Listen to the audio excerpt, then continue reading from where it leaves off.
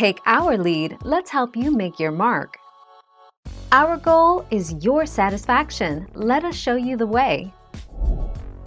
According to research in the journal BMJ Case Reports, most congenital skull depressions from a birth injury spontaneously resolve in about four months.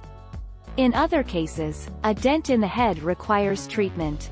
For example, a person with a depressed skull fracture will need surgery.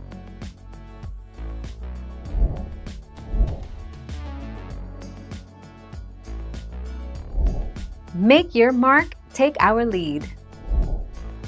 Dents in your skull can be caused by trauma, cancer, bone diseases, and other conditions. If you notice a change in your skull shape, you should make an appointment with your doctor.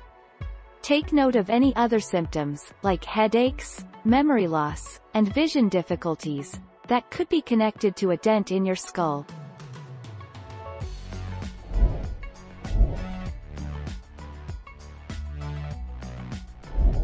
Make your mark, take our lead. The cranial ridges, also referred to as exocranial ridges or cranial plates are bony plates on the surface of the forehead on many humanoid species. Some species, such as humans, Vulcans, and the ancient humanoids do not possess visible cranial ridges.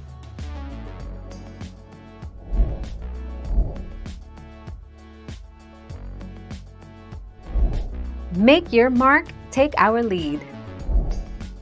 As years pass, facial bones lose volume, contributing to the appearance of aging.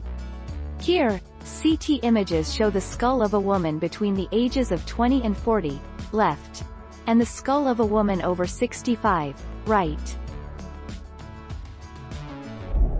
Thank you for watching. Please subscribe and hit the bell notification.